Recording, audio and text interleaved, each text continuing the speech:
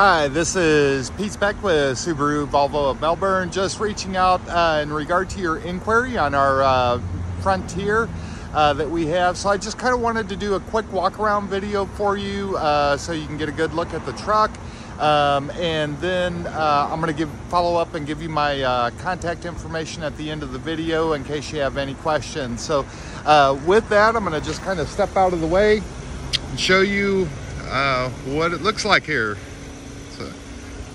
It's got some nice rims on it. Um, of course, we are a Subaru Volvo store. We took this in on trade, so I'm not all that familiar with Nissan as a brand. Um, but uh, um, yeah, gosh, it's a good looking truck. So full four doors, as you can see there.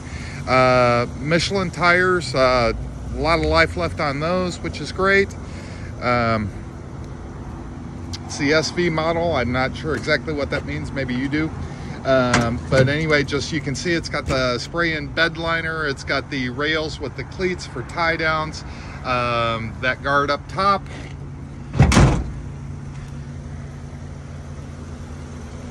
And yeah, I mean, it looks real clean. I don't see any door dings, uh, no mishaps, uh, anything whatsoever on that. Um, interior is just as nice too. So I'm gonna open that up as well too. I'm gonna just start with the back door, peek in there so you can kind of see what this looks like. Uh, looks like you have some plugs down here and also a power full-on power plug there as well too. So, and inside the seats are very nice, very comfortable. Driver side's power. Um, of course, automatic transmission. You have dual zone automatic climate control. Looks like heated steering wheel, heated seats. Um, and then uh, over here, now of course you're gonna have your Bluetooth and, and all that sort of stuff. It does have the proximity key, so you are push button uh, uh, start on there, which works great.